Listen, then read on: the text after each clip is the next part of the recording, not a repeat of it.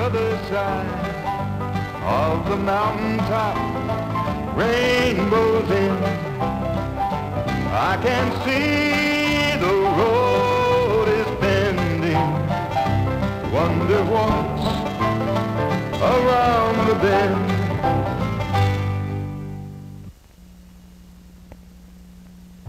We're a speedboat sort of a country, as you must have noticed. We like going fast in fiberglass.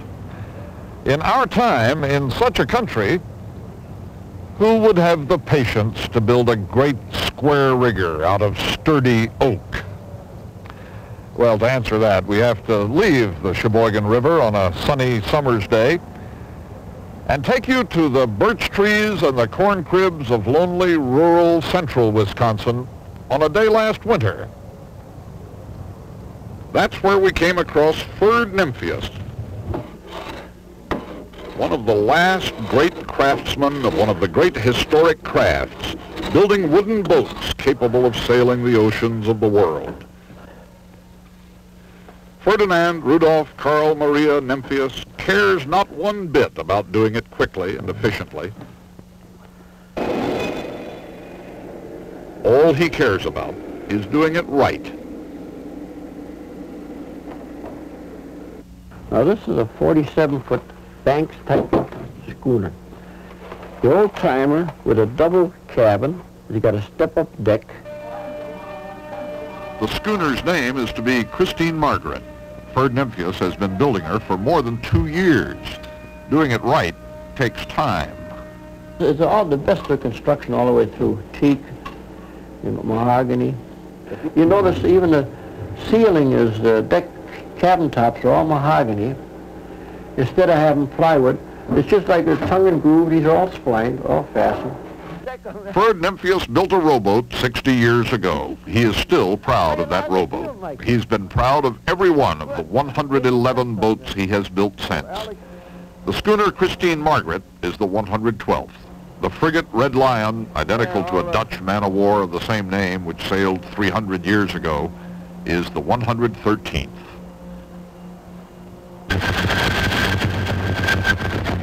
Nobody taught Ferd Nymphius how to do this. He taught himself. The great joy in this enormous shed in the middle of Wisconsin is to watch him teach others. Go ahead, that's it. He kids them. You're right on the line, too. Accidents will happen. He praises them. You did a good job, all I say. He helps And them. uh, so then there's only a, a 30 seconds difference in four pintles, and that's Joshua Lee worked in television in Chicago. He decided building wooden boats would be a more honorable occupation. And of course, he's right about that. Mike Alured was a math major at the University of Colorado looking for a calling. Out here in Yeah. Ferd Nymphius's cold barn, he found it. Earl Johnson was a fur salesman in the city. He used to make a lot more money selling furs, but he'll never go back to it. Ferd Nymphius's own son, Alex, can already build a wooden boat as well as any man alive, with one possible exception. That's why I try to teach my young fellows. The thing, first thing you do is do the thing right. Now, I don't care just how much time you take, as long as you're trying your best while you're doing it. It's, uh, sometimes it's hard to get that through their skull. Uh, they catch on. Like a boat yards will charge around 20 bucks an hour, and we charge half of that thing. And we do better work. I just as soon make less money and feel satisfied, and then the fellows feel better by far that way too.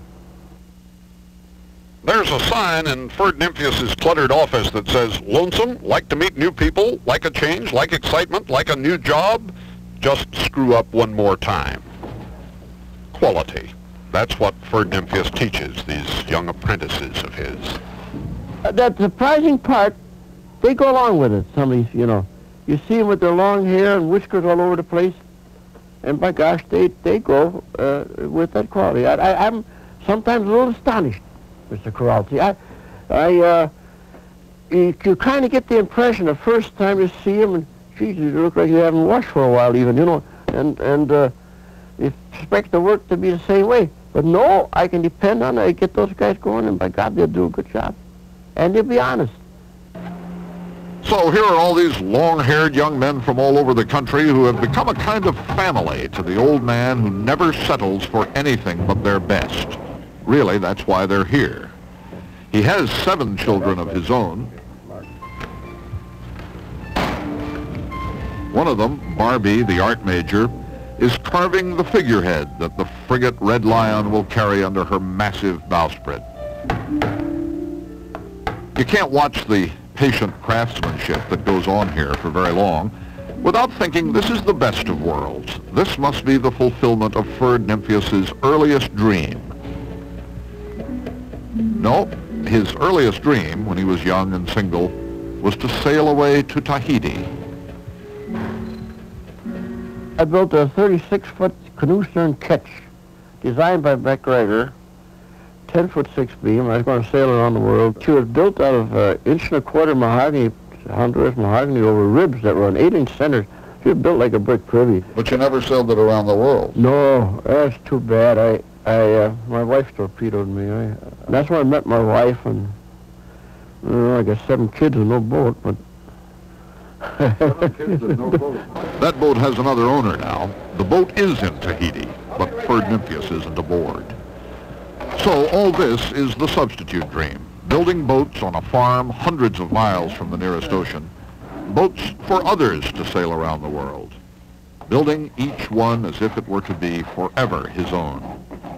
And in a way, each one is forever. And I think, I really think it's worth it. It gives you a certain satisfaction yourself. Sometimes I've uh, found the owners, oh, that's good, that's plenty good, you know, but uh, I didn't satisfy me. I still couldn't do it. right after doing You've had owners willing to accept boats that you weren't yeah, satisfied but I didn't with. think was right, no. That's right. So then what happens? Then as a rule, they, they see it my way. Oh, sure. In fact, I'll make a remark, what the hell, you only own the boat, I'm building it. The frigate Red Lion left Sheboygan on Lake Michigan the other day and ventured out to see the world, her proud owner at the helm. He's just the owner. He knows she's Ferd Nymphius's boat in every beam and plank and fastening. She sails like a dream.